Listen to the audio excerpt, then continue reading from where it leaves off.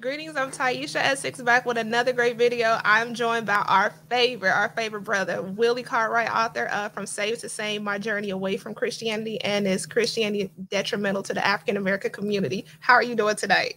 I am awesome. How are you? I am hanging in there. Is it as windy in your area as it is here? Like I have house plants falling out the window and I have no. the blinds moving as if this is this is a haunted house. No, nah, it was pretty windy um, the other day, but I think I'm I'm further. I'm in a good spot. We're mm-hmm. further north than you are, so you're getting the soon to be storm coming, but it's yes. like below Atlanta. So you you're below Atlanta. I'm I'm east. I'm just I guess I'm just east of Atlanta. Okay. Uh, so we're kind of in a nice isolated area. We don't get the storms from north, and then the south kind of isolate us. So I'm good. It's pretty warm. It's about 80 degrees, and the sun yes. is still out.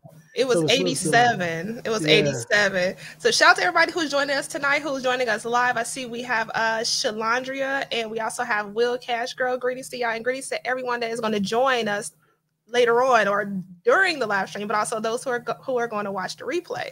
And if you were with us the week before last, we we were talking about you know just debunking different things in the Bible according to science.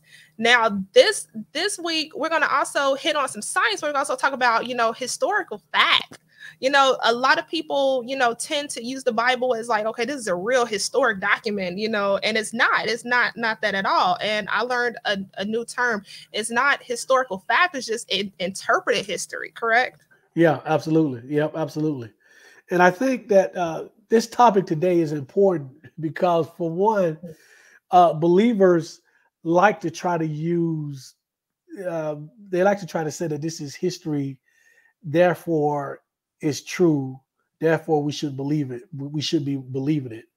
Uh, that's number one. And then a second thing is that obviously it's not historical evidence. It's not historically accurate. It's not historically true. You know, I always see these memes with people saying, notice if you go to a museum, you never see anything from the Bible in a museum because the museums are about things that are factual, real, real evidence. But I think the second thing, and I think more importantly than, than everything, is uh, religion is the only thing that we take on faith. Everything else we believe we require evidence of. And so you can't use the Bible as evidence of the Bible. That's called a circular argument. So I can't use the Bible to prove the Bible. So if mm-hmm. I'm going to believe this thing, then I need to see some corroborated scientific or archaeological, unbiased, non biblical evidence of many of the things, eh, what I always say, the major events or characters from the Bible.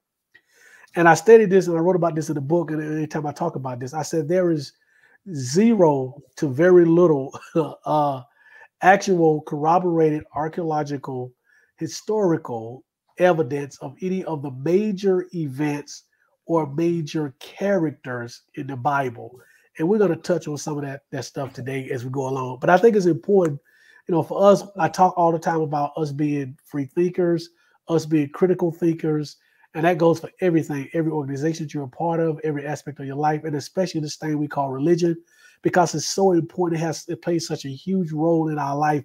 And for us just to go on and say, "Well, I believe because I believe in faith," well, you can use that for everything. I can say I believe in the, in the spaghetti God because I take it on faith you know, there's there's there's as much evidence for the spaghetti God as it is for this, you know, Abrahamic God. Right. So yeah. so we have to be careful if we really want to be critical thinkers and critical thought and and really understand what we're doing. We need to sit back and analyze and say, okay, where is the where is the evidence for what I believe in and for what the Bible says?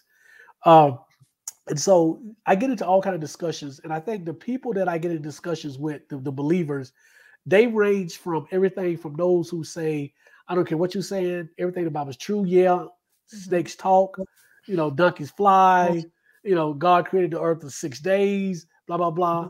All the way to the other end of the spectrum where people say, well, a lot of the Bible is metaphoric or is an analogy, allegory, all that. Yeah, allegory. So I get every argument everywhere in between. It's alchemy. Yeah, exactly. So it's important that we talk about what real evidence is out there for those of us who really want to be critical thinkers about this thing we call religion. And for those who are on with us live, please send us your questions and your comments. Uh, somebody said I just purchased. Your, thank you so much. Who is that? Um, I can't even read that. That is pestilent heretic. Yeah. Okay. Thank you. I couldn't even say that. Thank you. I need to get more. I need to get better glasses. Thank you so much. I really appreciate that. I really appreciate that. He said, I'm on page 50 and I had to force myself to stop. Uh, I'm in the money chapter. There you go. There yes. you go. Uh, really appreciate that. It's uh it's a it is a quick read. It's a it's an easy read, it's a quick read. Uh, I've had people who say that you know usually they take them a while to read a book, but they mm-hmm. get my book and they can't put it down and they get right. through with it and they love it. So I am really happy about that. Thank you so much. I appreciate that. Question for you, like I, I I love how you said it was a circular argument because at one point in time I was like, you know what, the Bible is the only book that I need, and the Bible is the truth, it's the the living truth, the living word of God. I didn't want to read anything else that that that challenged my my my belief system, and there's there's different things I hear uh, some people say like they'll say yes, I you know I oh, well, let me think about this one. So yeah, they'll say like, yeah, I know that there's evidence of the Big Bang theory, but I still believe in the cr- creation. You know, I still believe in that. It's like they're they they they they just throttle the fence and don't want to challenge their thoughts.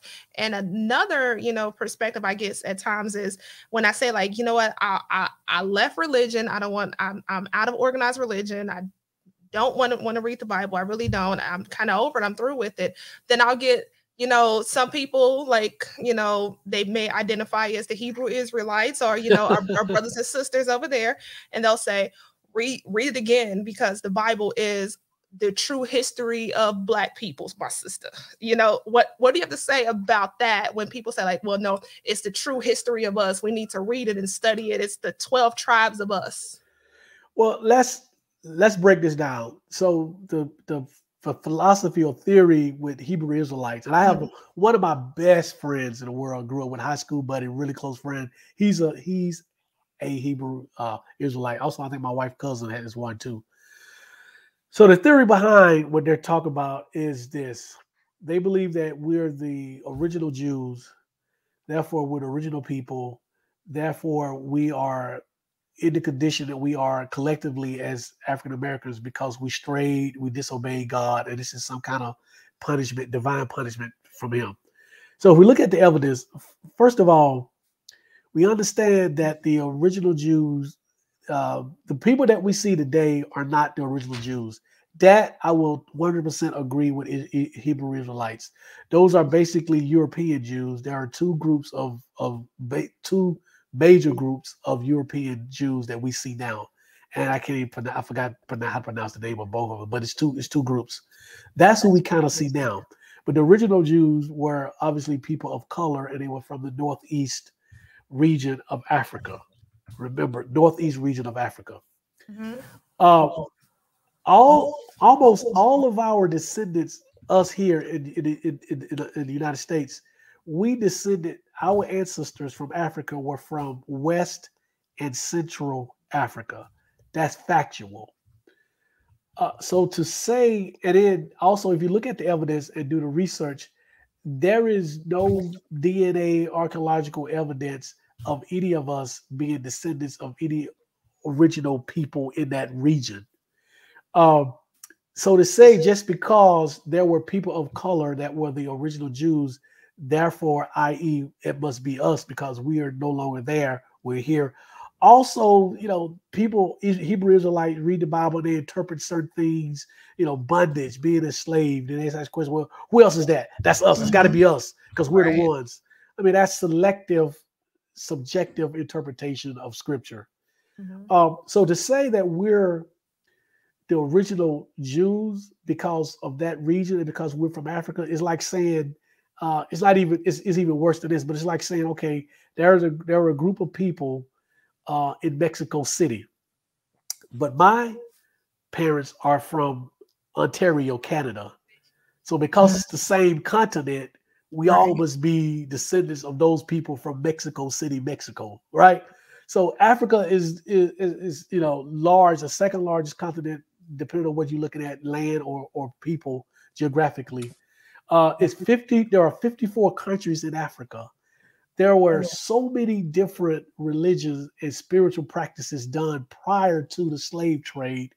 For you to just drill down and say, okay, we all are descendants of the original Hebrew Israel, I mean original uh, uh, Israelites, it's just it's just crazy to me. Um, you can't argue with them because they get uh, they, get, they get hysterical. Uh, they think, you know they think that. the loud. Oh yeah, I, I, yeah, I've seen it. They they think the louder they they talk, uh, and they coming from the Bible. First of all, and and, and I, you have to tell people this: if you're not a believer, then telling me that what you what telling me what's in the Bible is factual means nothing to me because mm-hmm. I don't believe that. It's just like yes. you tell it's like you being a, a lover of, of, of Harry Potter and you telling me, well, Harry Potter says I don't give a flying freak what Harry Potter says. Right. I don't believe that. So you telling me that this is in the Bible don't make it any truer for me to, you know, it, it, it doesn't make it factual because right. you're saying it's from the Bible. So yeah, yes. so I um so yeah, so that's one of those things that our people, I mean, they they go in and they go, they they they know the Bible inside and out, and they do selective interpretation and all of that. So yeah, uh, we just have to be careful with that until they come up with with DNA proof showing that our people are descendants of the original Jews. Then I'll believe it. But until then, they don't have any of that. They haven't had that. That's that information, that evidence does not exist. Wonderful. And when you say historical fact, um, in, in your book, um, on page 30, you you began telling us about you know how this concept of Caesar Borgia was, you know, created. and that's to me when, when when I think of history in the Bible, history and religion, that's that's the the only date that comes to mind when this concept was created. This concept of white supremacy was was created and it was put into force and spread around around the world. You know, what what do you have to say about that as far as like the bible and timelines mirroring that on actual you know history and our, our and and time timeline of the world. Yeah you know uh, first of all you know there are no actual dates in the bible. You know it's not you know this happened in you know 36 ad there are there are historians that try to date stuff back based on what the bible say because any like like every every piece of mythology has some real stuff to it right? So if the, if the bible talks about nero nero was a real person but that doesn't make the bible real. It's just like any other piece of mythology you read it's going to be some even if you read something like batman right?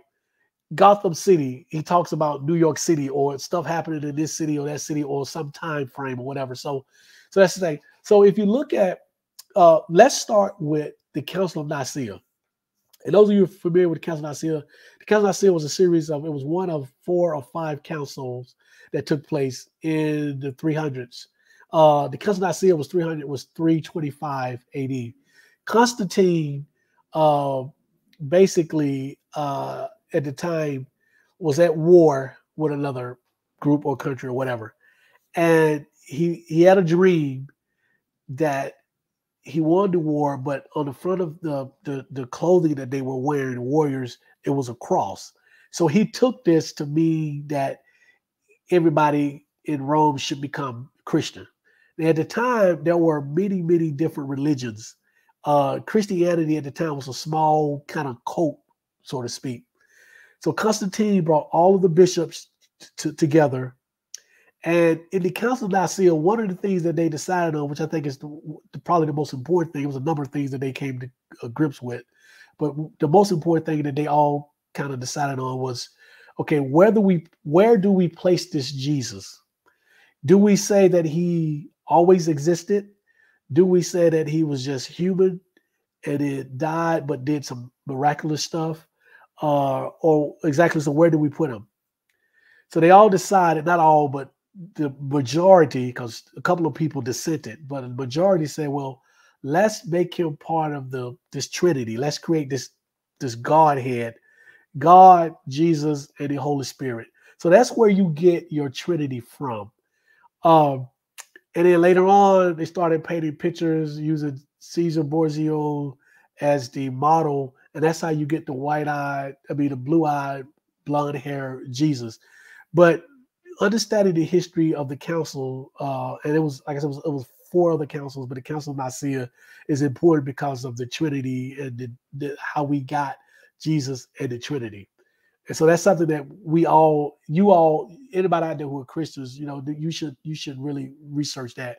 I think one of the things that's frustrating is that how little Christians go outside of the Bible to actually study the history of their religion, you know, where it came from, because it was pagan, all of the pagan uh, characteristics that's part of the religion, all of the you know things that was never really Christian, how they all became, how you got heaven and hell, where where where that stuff came from. I mean, it's so much out there, but a lot of times most Christians just read the Bible and take it at face value and say, okay, this is what it is. And when there are questions or shortcomings, they just don't don't ask the questions or they're afraid to ask the questions. Or if they ask the questions, they get a, you know, not the right answer or a simple answer to kind of placate them and they go on about their business.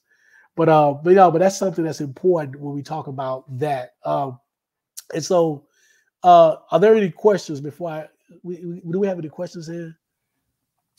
Let's see, we have some comments. Um from Lynn, no one can argue that the Bible is the one book that can explain our current condition, our experience in slavery, even the problems that befall us as outlined in Deuteronomy 28. Uh, Lynn, I don't. I would. I would challenge you to show me proof that that's talking about us, African Americans, uh, here in this country. I mean, I know you can read it and you, we can interpret it. You can interpret it as being such. Uh, so here's so here's the two questions that I have about that. If you're talking about us suffering for 400 years, here's my first question: If if we left or disobeyed God 2,000 years ago, why did our suffering start many, many, many, many, many generations later? And why is it that our ancestors who didn't actually do the leaving or forsaking God, but why is it that they're the ones that had to suffer? That's that's the first question. Also, when Christians talk about this suffering, this is supposed to be a 400 year period. Mm-hmm. So a lot of times they'll judge it from okay, we came over here as slaves 1611. Uh was it now? I mean 1619.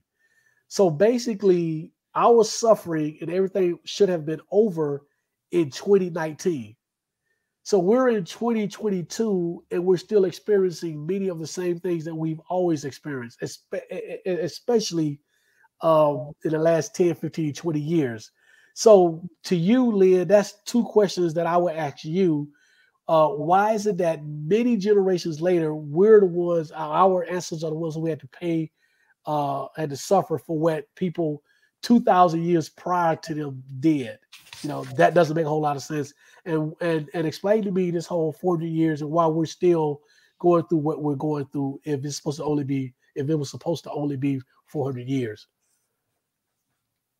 One thing that you you also mentioned as well is like the characters of the Bible. Like, okay, in museums, you have evidence of things, you know, um, what is it? Uh shoot, shoot, shoot. It just passed my mind but we can date you know different things that that we find in in the earth in the crust the artifacts left behind based on the people that were here. However as many things that that we found discovered in the ocean nothing pertaining to the bible has been found and it's it's not fact and that's one thing i used to see watching a show called unsolved mysteries.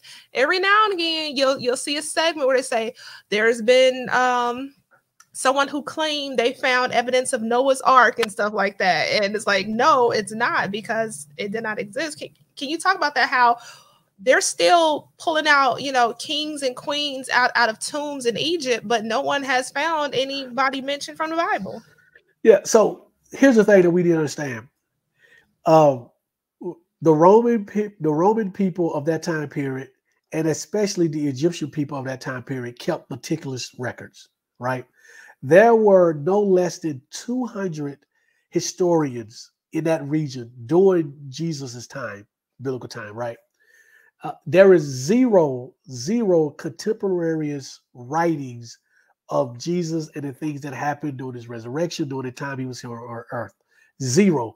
The Egyptians didn't write about it. The Romans, from a contemporary, from when I say contemporary, contemporaneous, that means while it was going on. But yet they wrote about everything else. If you go uh, to Egypt, there is nothing in the tombs, in the caves, in any kind of writings about Jesus Christ. Absolutely zero, nothing, nothing whatsoever.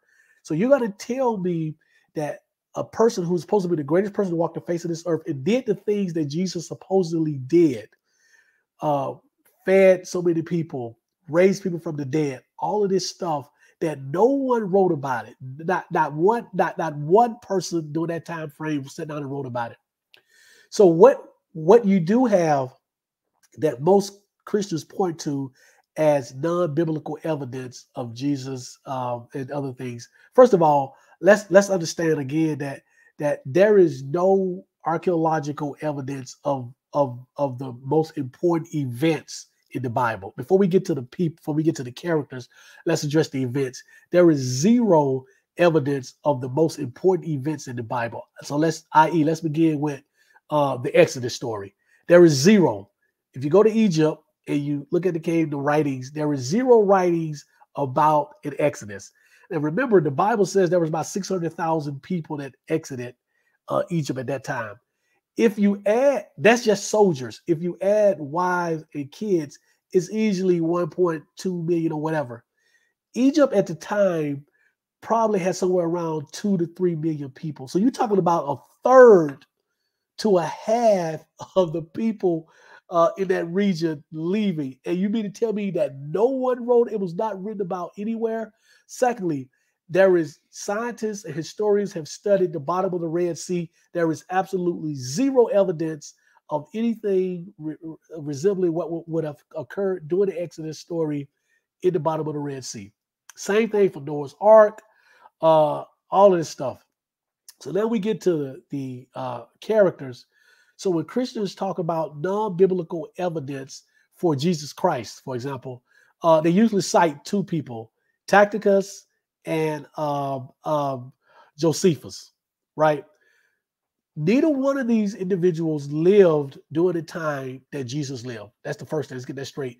Josephus was born in 37 AD, which would have been four years after Jesus supposedly died, right? Uh, Tacitus was born in 55 AD. So even in their writings, the earliest writings from, from Josephus about Jesus was in somewhere in 90, 92 AD. So you're talking almost 60 years after Jesus supposedly died. And so the information that he got was hearsay from somebody else, from somebody else. And he only mentioned, he only wrote about Jesus twice in all of his writings. The first one was he mentioned James was supposed to be Jesus's brother, blah, blah, blah. Most historians say that that writing is is authentic, not the facts about it, but that the writing that it was Josephus who wrote what he wrote. But the second writing is, is, is a lot longer, and he talks about Jesus and Christians or whatever. A lot of historians believe that that is fraudulent. So there's conflict about that. Tacitus, again, born you know 20 some years after Jesus was born, wrote about uh, Jesus in relationship with Nero and some other stuff. Again, no firsthand writings, no firsthand knowledge. There was nothing from the apostles or anybody that actually walked, supposedly walked with Jesus. You're going to tell me if I'm walking with the greatest person to ever live on this earth, and I see this person doing all kind of things, you mean to tell me I'm not going to sit down and write this down somewhere? I just saw this man walk on water. You know, I just saw this man raise someone from the dead. So we have to think about that. And then finally, let's look at the uh, crucifixion and the resurrection of Jesus and what supposedly had happened.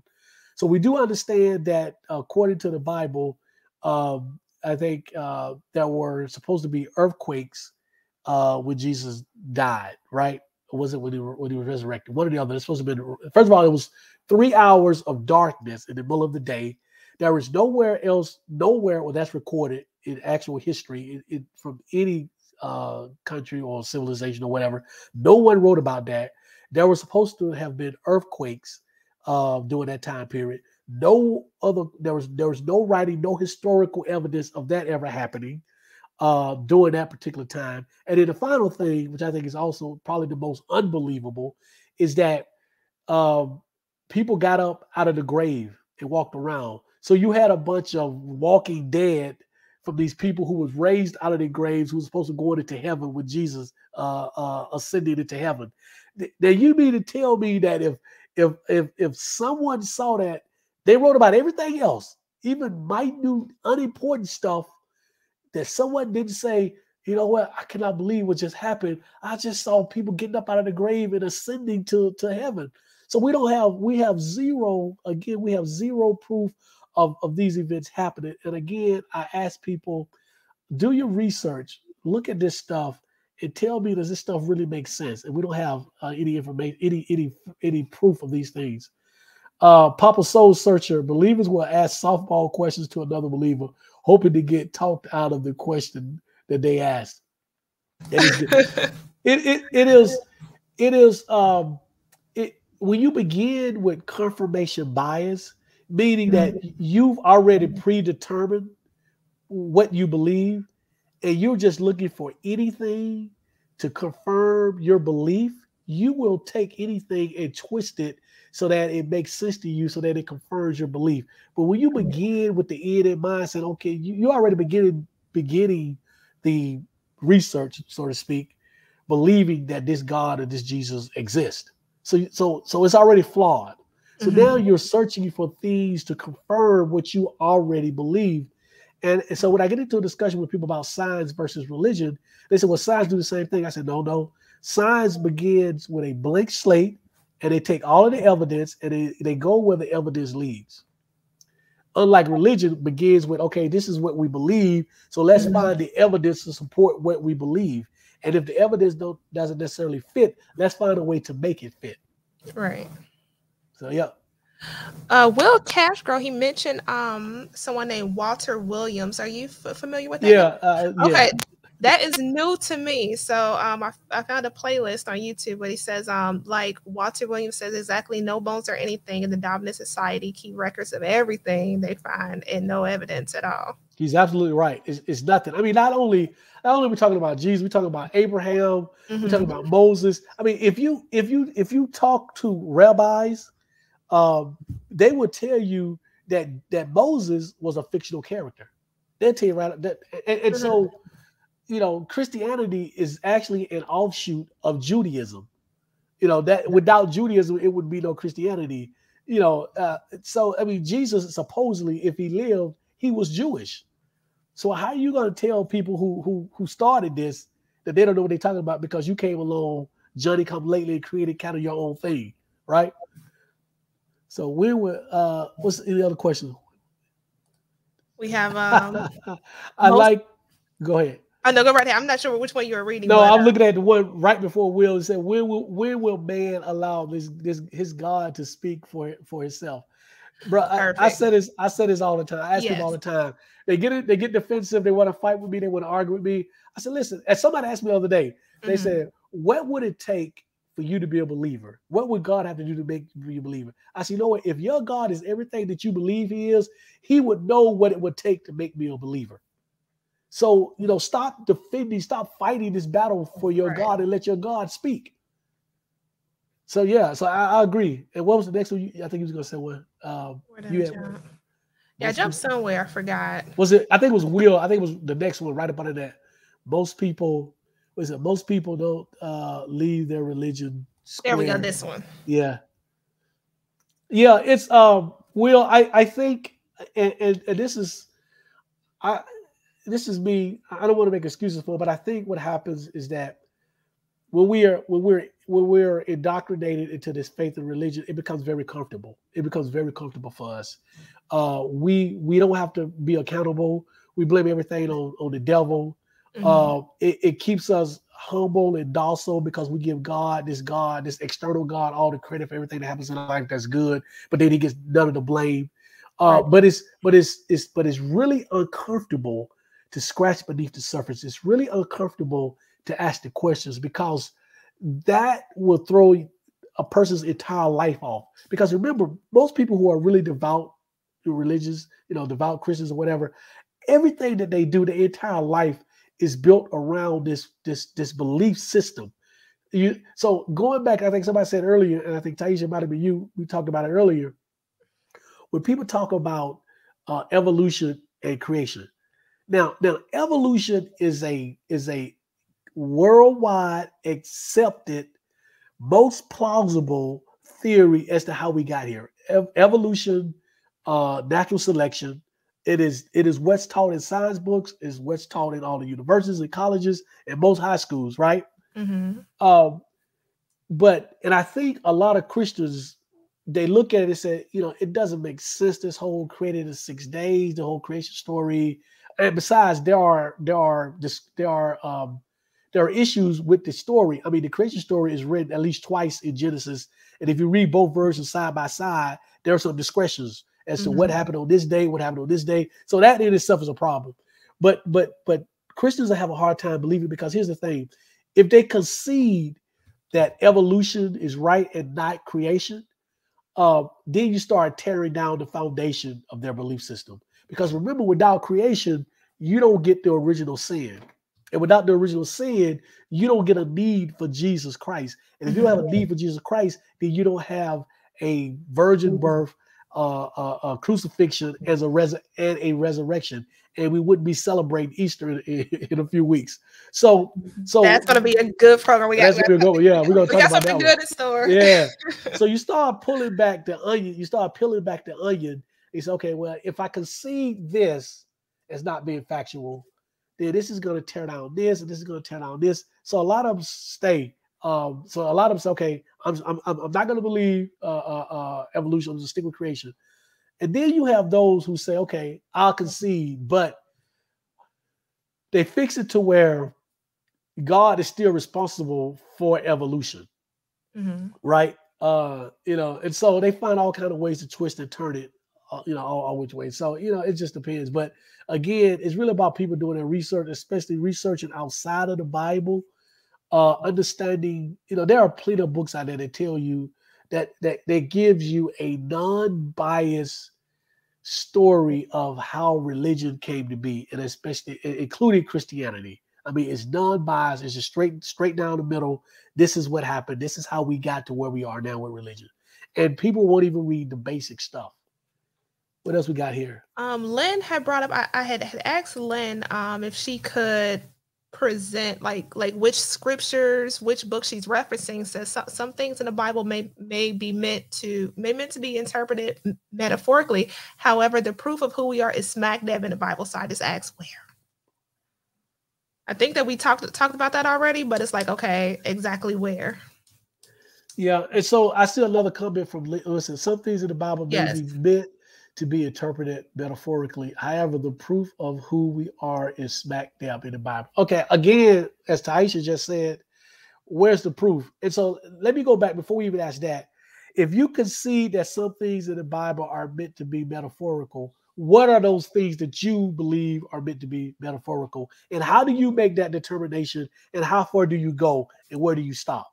Exactly, because right? like with with certain things, there's a disclaimer. You know, it's a disclaimer. Like you know, this is based on a true story. This is, you know, um, taken from or are, in, inspired by actual events or this right here do not attempt at home. So it's like okay where's the disclaimers that, that tell us this? And there's there's there's none. It's like it's left up to your imagination. The key word is believe. Like if you can believe it, you can create it and run wild with it. And it's not. It's like, okay, if you're going to pl- apply it to yourself, if the book of Ruth applies to you, you know, if I'm sorry, if the, the story of Ruth applies to you, then go ahead. If Malachi, if you identify with that, that's on you. But it's like, you know, that's not my belief. That's not blink. That's not what it was supposed to do. But if you're inspired by that story, if you're inspired by it, that's that's all you. But it does doesn't apply. It's not fact. It's so let me let me answer a couple of questions that that that Lynn that Lynn has commented. Um, let me start with the second one first. She said, uh, it says in, Deut- in Deuteronomy, De- Deuteronomy 28, 28 40, 40, 48, we will serve our enemies for every want and need what other people is this. We're not the only people to be enslaved in the world, in the history of the world. We're not the only people, you know. So uh, that that doesn't make a lot of sense. We're not the only people to serve other people. We're not the only people to be enslaved. We're not the only ethnicity. We're not the only racial group. We're not the only nationality. We're not the only group of people to be enslaved. All right. That's first thing. So going back to the other comment, you uh, and I think I got to go back up. Uh, see, can I go back up? You had mentioned. You said, uh, yeah. Who else is going around hating, hating their own seeds? Women afflicted with bald scabs, diabetes, heart disease, sickle cell. You know, we're you know, black people are not the only people that get these diseases. Mm-mm. You know that we're not the only people that hate our own at times. You know, white white men to to a certain effect don't like white women. They that's cut where, like here in this country. Get misogyny they, from where you think you get misogyny from? They they they they disrespect their women. They don't like their women. If you go to other countries like India, India has the same problem. There are there are countries in the Middle East where where men hate their women and um and hate their their own seeds. You go to China. China at one point were they were killing uh their babies if they had too many kids. And it was like in Rome, right, where you know they did not like the women because once they they got pleasure from her, they had another mouth to feed. So that's why yeah. you know these other forms of satisfying themselves came about, and exactly. we have laws protecting uh, yeah. laws against it now. exactly. So you know, uh, uh, we're not black people are the only people that get diabetes. They'll get heart disease. You know, I can ask the same thing about uh, black people. life. Yeah, black people rarely get skin cancer, right? That's a that's a kind of a a, a, a, a European thing. So why isn't that some kind of affliction? We don't get, you know, we don't get that. So I think what what we do is again, and I think Lynn is an example of doing this we begin with a, a, a bias in mind. We already we already believe what we believe, and so we go looking through the Bible or whatever it is, and we say, "Oh, oh yeah, this fits the narrative. You know, this must mean this." And um, and, and Lee, it's not. I, I, let me let me let me. I thank you for being on here. Thank yeah, I was typing that too. I'm like, thank you, Lynn, for, for, your interaction. Like, we're not coming into it. Yeah, gloves. No, no, like we thank you because this this is the questions that we get. Yeah. So thank you and it helps all of us to learn. Leon is saying what maybe somebody is too afraid to type. So thank you. yep. And I think that we've all had these kind of questions. Even when I was a believer, I, I read this and kind of thought the same thing at at at, uh, at times. And so I think we just have to be careful. And I think we have to kind of again peel back the onion and say, okay, let's kind of look at this piece by piece. Mm-hmm. We're not the only people that ever been enslaved. We're not the only people that suffer from certain diseases. We're not the only people that hate our seeds we're not the only people that mistreat our women or that hate our women. And again, this is not everybody. This is just a generalized statement. Uh, there is a culture, there is a worldwide culture of misogyny and mistreatment of women that we've always had on this planet from day one. You know, uh, there were, if you go to, I went to Lima, uh, Peru, um, early 2020, right before the um, COVID started and we did a tour, and it was telling us about uh, the people there and the culture. You know, many many centuries ago, how they would do child sacrifices. Child sacrifices has been a part of every culture. So again, not loving your seed. You know, we don't as African Americans, we don't sacrifice our kids. We might talk mean to them, we might beat them, but I'm telling you of cultures that are that don't look like us that have literally sacrificed their kids literally put their kids on the altar and kill their kids. Mm-hmm. So that's not something, you know, we we we're we're actually we're actually far from that. So so again, let's not, you know, let's go to the Bible kind of with an open mind, get the information, and then let's do the research. Will said in Rome, in Rome, they didn't like women. Yep, I, Ta- Taisha just just talked about that. Um, just because there are some similarities between the stories in the Bible and black people doesn't doesn't show correlation. Kareem, absolutely. Um, there's a Lynn, there's a book, there's a couple of books I would recommend for you to take a look at. Uh, one is called the um, the Cross and the Lynching Tree, and then the other one is called God of the Oppressed. And what it talks about is African Americans' desire to be affiliated with the suffering that occurred in the Bible and Jesus Christ because we feel like it makes us closer to Jesus. And so that's that's some psychological stuff, that's some unconscious stuff that we kind of go through. So I'm not saying this is you, Lynn, but I I I I, I, I don't want to say, but this is this is I am not saying this is you, Lynn.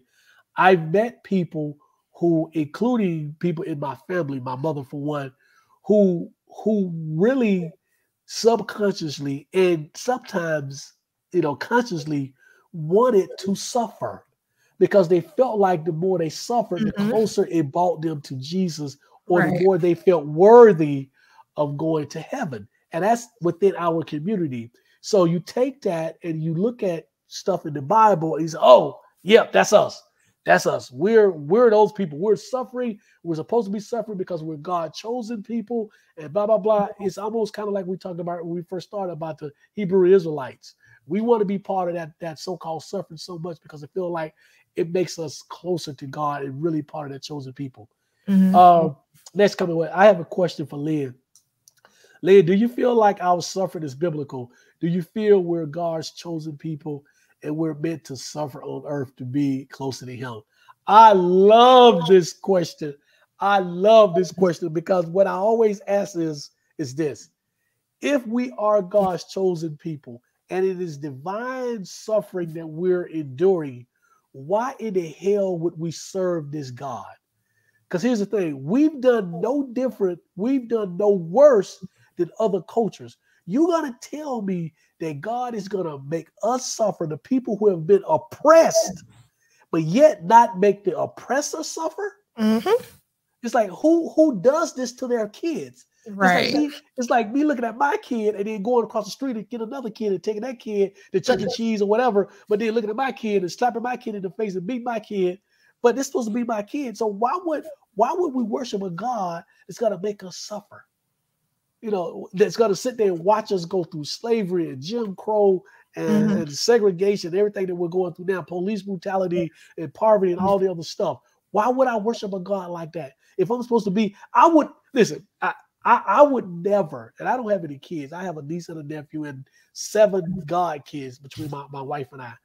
I would never treat them the way that this God is supposedly treating us if we're his people.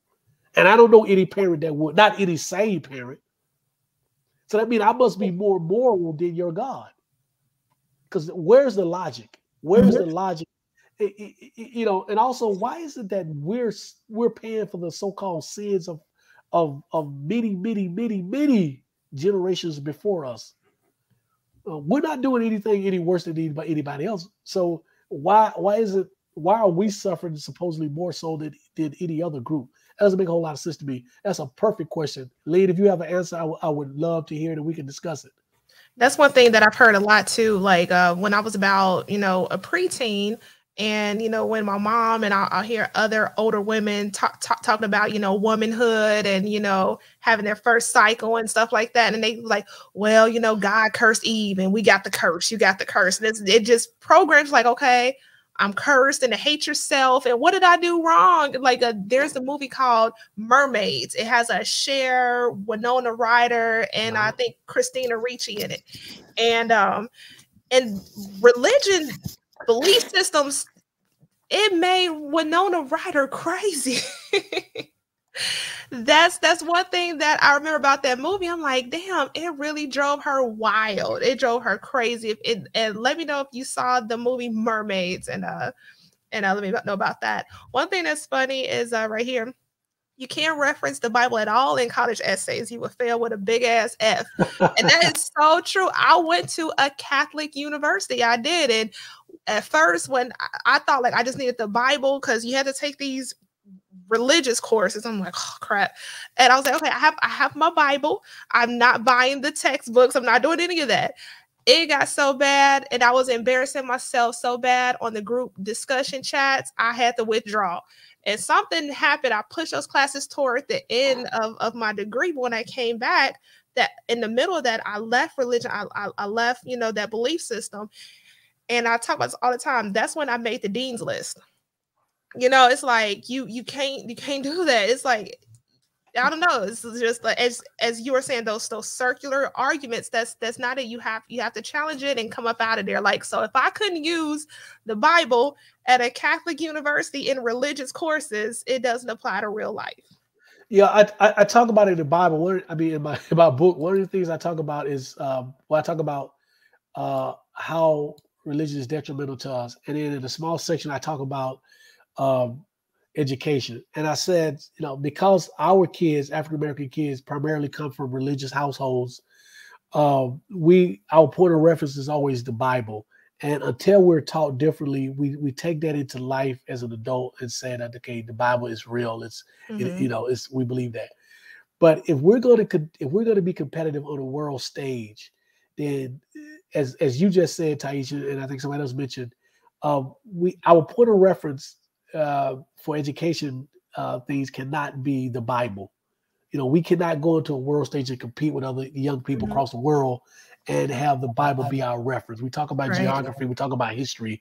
You know that we will get laughed off the stage. We, you you you won't get a degree, you won't get into a school, you won't get into a class uh, because that's not what's commonly accepted. What's commonly accepted is the science of it all. Mm-hmm. So again, you know, we talk about that kind of stuff. We have to be careful because we want to be competitive. I want our kids to be competitive on the world right. stage. You don't want your child sound like a fool on the world stage competing. Let's say your kid is trying to. Is, let's say your kid is in a really good college or university. Um, one that is that is you know I'm not gonna say the word secular, but not a religious affiliated university or college, and they're taking a subject, whatever the subject is, uh, and their point of reference is the Bible for mm-hmm. everything, mm-hmm. they'll get laughed out of the classroom.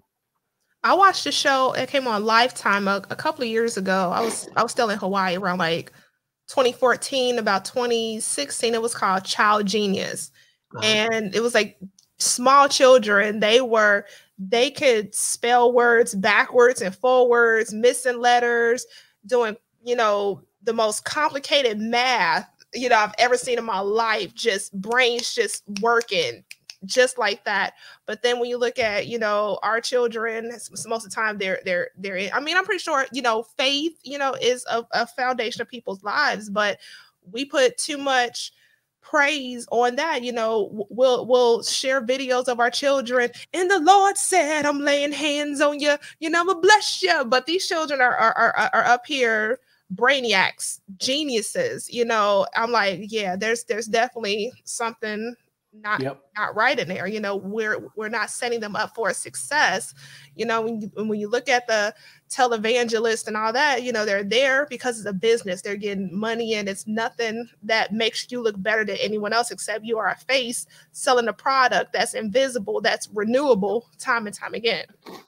Yeah, I want to, uh, Lynn. Again, thank you so much because I, I, I, we need more people like you to come mm-hmm. on here and, and and give us your side and challenge all of us. Uh, I I love this comment here. You said no, I don't believe our suffering is meant to be to uh, is meant to be. I don't believe our suffering is meant to be to draw us. It just is what it is. I, I thought that, and correct me if I'm wrong. I thought you were saying that you believe that our suffering is meant to draw us. Um, uh, I guess I'm, I'm, assuming you're saying draw us closer to God. Um, and so my my response would be twofold.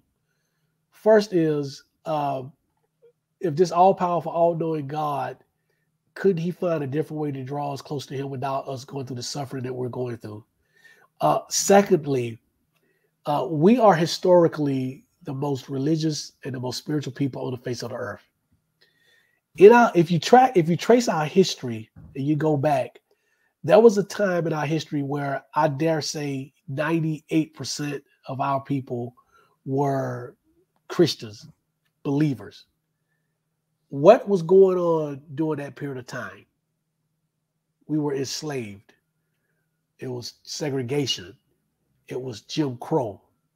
So, so it, it, it, if, if it was meant to draw us we were already as close as you're gonna get to being to God as a collective group than any other group on the face of the earth. But yet, your God still still see purpose in our suffering. If if this is what you believe, and people who believe what you believe, it doesn't make a whole lot of sense sense to me at all whatsoever. What it is, I think, um, and again, it's not like to you. What it is, though, I think, is is us making an excuse for our collective conditioning. Not only making an excuse, but coming to acceptance of it and twisting it to where it becomes something favorable. You notice, so so the one thing that black people have always done is that we've always taken something that is meant to be bad or negative for us and twisted it and made it good for us. Mm-hmm. Language. There's the actually a world. song, a gospel song yeah. saying everything God, yeah. everything the devil did, God's turned around for my good or something like that. Yep. Exactly. So so this is this is no different. We've taken our collective condition over the last 400 years or whatever, and we twisted it and say, well, this is good. This is this is meant to be because it's what God wants to do, or it's divinely inspired, or it's something from God. Even to the point where you hear people, especially older people, I don't hear a lot of young people, but older people will say, if it wasn't for slavery, we wouldn't have Jesus. If and, and, and, listen, I don't, I'm not, I'm not Will Smith, so I, I don't slap people, at least not not since I've been an adult. But when I hear someone say that, I, it makes me want to just slap them because that is to me the absolute dumbest thing that a black person can say regarding slavery and religion. I think it is the absolute dumbest thing that can be said. Uh, so yeah, but again, thank you so much for your comments. Uh, I see the other ones. Uh, do we have who else? We got other people. One thing I wanted to uh, point out, uh, I think I have an assignment. Y- y'all know I love when I'm, I'm assigned movies to watch, and I have a movie. Um, speaking of that, I, I want to go live tomorrow. Please don't hold me to it if the storm is not that bad, but I want to go live pretty soon. I want to talk about this this movie called Surviving the Game. Okay, go check that out. If you haven't seen it, check it out. Surviving the Game. It has Ice T. It has a, a Ice T. Charles Dutton and a few other people. I don't quite remember that. I think I think Gary Busey's in it, but yes, okay. it's it's the older film. Surviving the Game. Watch that, and you'll be right in time for what I'm going to talk about. I think I'll do it Saturday. If not, I'll do it over the week. I'm gonna hold myself to it, okay? But yes, yeah, Surviving the Game. But uh, the Onk said there's a 2001 movie called The Body. It's a movie about the resurrection. I gotta take a look place. at that. Uh, the Onk. Thank you so much. I gotta take a yes. look at that. And I love the name, by the way, the Onk. Uh, yeah. yeah, I got the body 2001. Got to take a look at that. Uh, Lou, Lou, to you, appreciate the comments. Uh, appreciate the comments. Thank you so much. Thank all of you guys. Yes, uh, thank listen, you. Pie in the Sky is only promoted to the U.S. Everyone else get get theirs today, here and there. You know, that's another thing. I, you know, again, we have to think critical about things. Um, we're the only people that's not getting ours. You know, mm-hmm. we're the only people that's told wait until you die, you're gonna get mm-hmm. you to heaven, or at least we're the only people that believe that. Again, then that becomes a justification for our collective failure. Because what we're saying is that, you know, so we and, and this is why this is dangerous.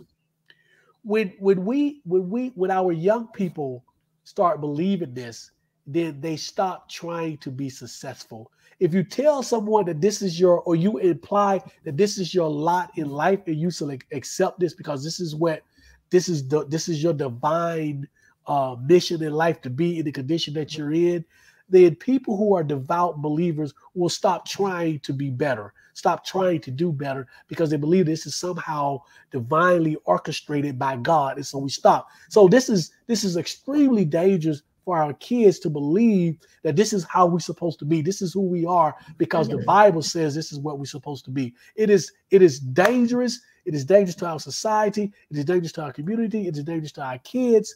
Is one of the things is it, it it is the reason when people ask me why do I do what I'm doing, and they say, well, let people believe the way they want to believe. No, this stuff hurts us. This this stuff affects our mind our mind controls everything else.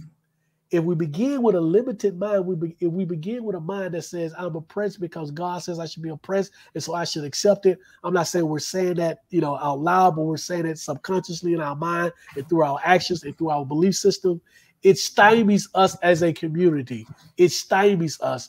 It stops our kids. And so oftentimes, notice how many of our kids, young kids, are moving away from the traditional religions of their mothers and grandmothers and, parents and fathers and grandfathers because that's part of it. They don't like, they're not going to accept being comfortable mm-hmm. in suffering and struggling. They will not accept that. You know why? Because they go to school with kids who don't look like them that has that got everything. Yeah. And they're asking themselves, why do I have that? And they're not going to accept us telling our kids that this is from God or this is the position we're in because we're we're suffering because we didn't we walked away. Whatever the reason, whatever the excuses that we give, uh, our kids are not accepting that. And bravo to them. I'm glad that they're not.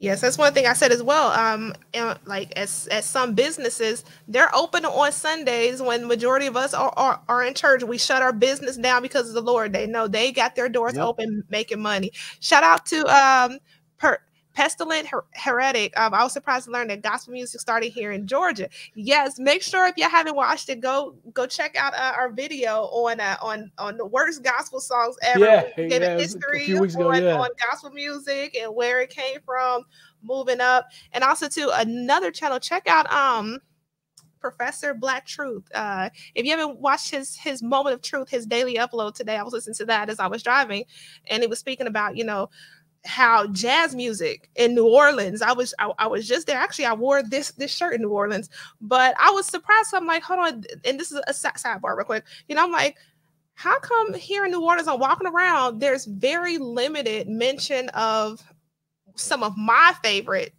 jazz musicians. Jazz would not be jazz without them. The Marsalis brothers, they're from New Orleans. I'm like, I didn't see anything. Yep. You know, we we we took a walk over to uh, Louis Armstrong Park. There was a statue for him. There was a statue for Mahalia Jackson. But I'm like, I haven't seen anything for the Marsalis brothers, and they are alive and well, the kindest men you will ever meet. You know, I'm like, wow, this is crazy. And when I learned today about the racist roots of you know j- jazz and and how it was suppressed in New Orleans of all places, it's like, wow, okay. So yeah, like I said, go go check out out that video. Um, what else do we have? Lynn, um, also she she said she appreciates the the dialogue as well. I, I think Lynn to to get her response and questions in real time, could you email us? Email me um um, at Taisha at info at taisha or you go to taisha and just fill out the contact form. Or how can she contact you? Because this this would be great to get, to get like live questions right there back and forth yep. versus you know the delay with comments and stuff like that. Let me address this because I think this is uh-huh. just extremely important. Uh, her, her comment. Lynn, Lynn says it was a result of our ancestors worshiping other gods, breaking the laws of of the of God. So that's what you believe is why we're in the condition that that we're in. So understand. Okay, so let's let's go back. Uh, we are when I say we, African Africans, we're the original people on the planet, right? Uh, Christianity is roughly 3,000 years old. Uh, there were many, many other religions prior to Christianity. There were many, many, many other spiritual practices prior to Christianity. Um, you, when people say what you just said, uh, it is a result of not understanding, not reading, not understanding the history of religion. Europeans took everything that we practice in Africa and told us that it was bad and that it was wrong. Even voodoo, which we call, what some people call voodoo, but voodoo, uh, I sat through a a, a presentation about mm-hmm. uh, voodoo from a historian.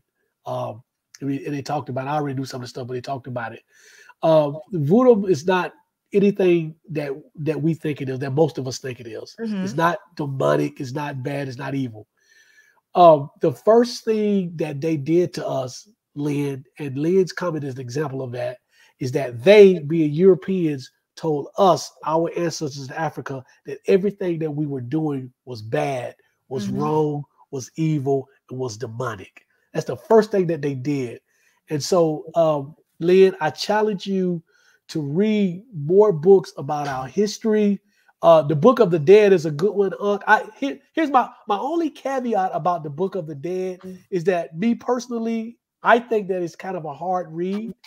I think it's kind of um, I think it's kind of advanced for someone who's just now getting into let me understand more about the history of my ancestors and our work, our our spirituality, and all of that. Uh, it is a great book, but what you will find is you will see where everything came from us. Mm-hmm. Uh, spiritually and, and, and so uh, from that stand, so that is a great book. Um, the oppressed, uh, yeah, uh, God of the oppressed, and yeah, the cross of the lynching tree.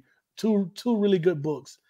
Let's not let's be careful in dismissing and downplaying our ancestors and mm-hmm. what they did and what they practiced in their spirituality.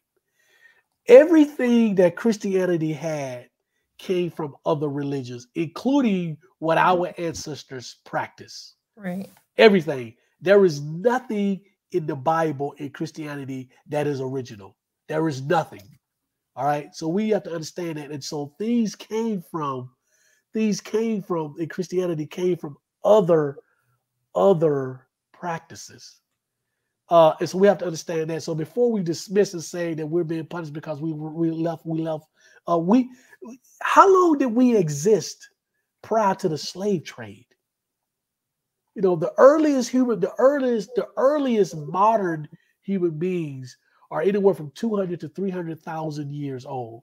So we existed in our own world, doing our own practice, our own spiritual practices, working with nature, whatever our people across the continent practice, long before this concept of the Abrahamic God and Jesus Christ came along.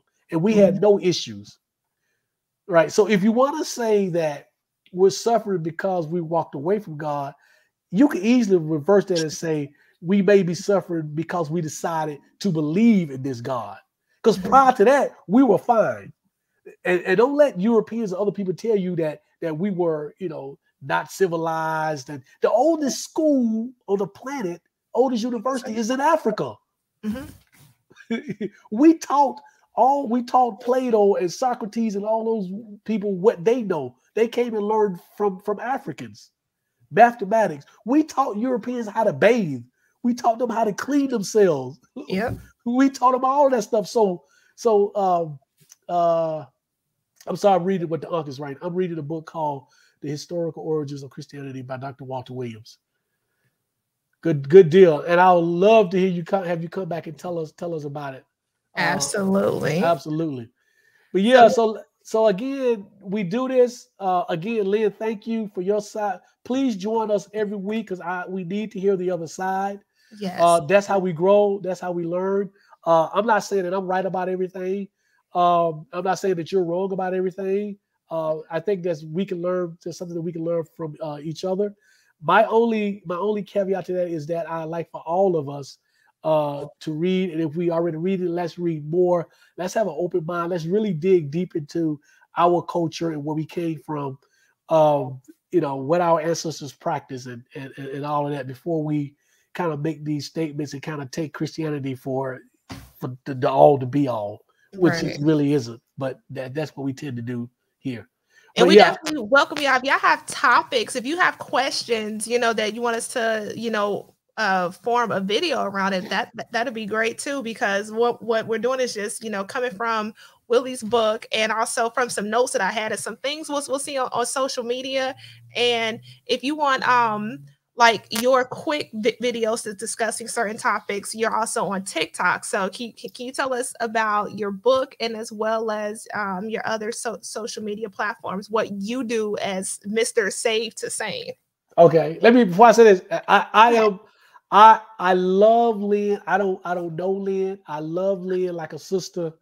Lynn Lynn said I'm going to read Lynn some left more. about seven Lynn, seven she years said, ago. Yep. So, yeah. So she said I'm going to read some more. If if if if nothing else comes out of any of Please this, share with for us. All of us is that we read more, mm-hmm. it, myself included and talk so talk I, to each other because that's that's a great thing. When we yep. talk to each other, we, we we don't like condemn you to hell and cuss you out and wish bad things on you. It's like, yeah, let's you know, let's break out of what we've been just just in. And this is a good place because many of us don't get to talk to people. Like I don't get to like I think the most I've talked this whole week has been in, in this broadcast. So I think I need y'all. So yes, you're you're definitely welcome. Lynn, I welcome you if you could uh, send me an email and um, I'll see about getting you on so that you can ask questions like in, in in real time. And then also, if you want to join Brother Willie, I know he's going to also have some some live streams on his channel as well, which is Save to Sane, so you can yep. you know talk one on one on one with him because he's he's great. He welcomes the questions, so that's that is your your best bet.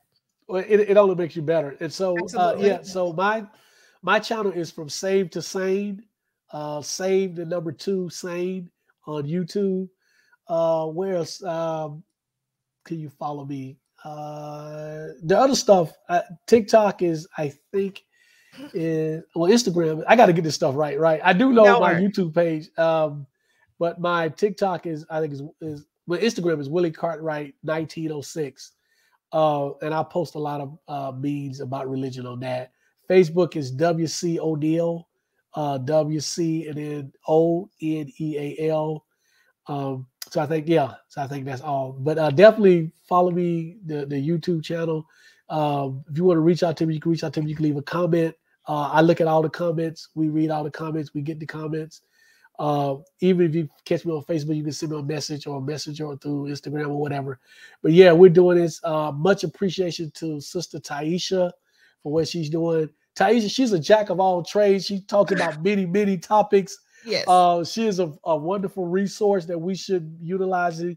More importantly, we should be supporting. Uh, she has her things going on. Support her, support her, support her. Uh, we need more, more, more people like her on here. Uh, and thank all of you guys for coming on. Thanks for the questions. This to me, this is the best part. I love being interactive because I love learning. Uh, I love speaking to people. I love us exchanging, having the, the you know the comments. Because if it's something that I thought maybe I was wrong about, or I learned mm-hmm. something, I'm gonna go back and do the, the, the research. You know, I'm gonna find a book. Thank you for the books um, uh, that we've got uh, uh, uh, to read that somebody gave us, as well as the movies so I've got to check these movies out and get me a couple more uh, books as well. Yeah, that's one thing. Like Willie's channel, Save the Sane, is about one topic. Okay, my channel is just all over the place. Like people get on me, and it's like you know, I'm thinking. Well, not that I'm thinking. I'm kind of, I kind of know. You know, that's why like YouTube doesn't know who to advertise my channel to, which is great because I'm really not in it to be this. Okay, I want to have a million subscribers, things like that. It'd be nice, it'd be great. But however, those who have been solid with me, you know, I'm here for you. And if only one person tuned in, I'm gonna give you everything I got, you know, quality content and stuff like that. So yeah, over here, talk about a little bit of everything. And because it's starting to warm up outside, I want to start vlogging more, exploring Georgia. And shout out to everybody who's, you know, in Georgia, want to visit and things like that. So you're gonna see more as you know the weather warms up different types of content. But this is this is my foundation you know that first video i did it back in what 2016 or i think it was 16 you know why i left christianity. And that's where a lot of a lot of people found me. And for those who've been rocking with me i haven't uploaded this kind of content in a while. So that's why i'm, I'm kind of hitting heavy with it now because i'm like i'm i'm overdue. So i thank you for helping me get this content out and all the new connections that i've made. I really appreciate you yeah, someone said pollen in Georgia now. Yeah, it is. I wear contact lenses, and so the pollen gets in my eye and it burns um, me. I, other than that, it don't. Uh, I, I, don't guess it. I still sneeze and stuff, but it's not that bad. It's just getting to my contact lens and it hurts. It, it's painful. So yeah, we a lot of pollen in Georgia. Oh, Check my my my Instagram stories. I wore this product called a Under the Weather Pod today. I ordered it last year and it was because like I I really hate wearing a mask. I really am. Y'all know I don't like the, the face panties. I have, you know, cystic acne. So I don't like anything on my face because the breakouts are painful. And um, I wore it today because I had to go to the VA, and I'm like, make me put on face panties, take my temperature, all this stuff. So I put on my under the weather pod at the doors. I walked in and didn't tell me to put on the mask. I had on my pod. You, you'll you'll see it in my story, and I may just upload a quick quick video on it. But yeah, that keeps everything from blowing in your face, and you're just protected. So it's your own personal bubble. I love it. Yeah, this has been great, guys. This has been wonderful. Thank you guys yeah. so much. Uh, we'll have another topic next week. And, next um, week, next Wednesday. And so when is Easter? Is it what three weeks, two weeks, three weeks? I don't know because it changes every year. So it uh, does change every year. And that, since since I stopped going to church in 20, 2015, I, I don't I don't keep away well, taxes done came out. Yeah, taxes yeah. are out. So the, the the suits and the candy is already in the store. So we'll yeah. we'll find out. But we have a great top topic in store. Um, one topic that I could think off top. What was it?